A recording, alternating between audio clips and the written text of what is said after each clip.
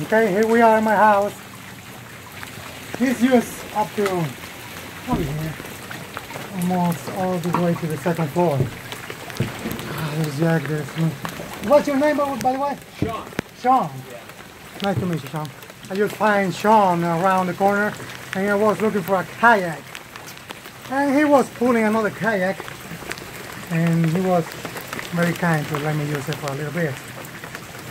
Just to get a surprise of my house being destroyed. This is not another war. This is destroy of my house. It's incredible. Lights still on. My breaker box is underwater. Lights still on. Uh, this is not smart to be over here actually. It's not. I want you to check it out. We're going out.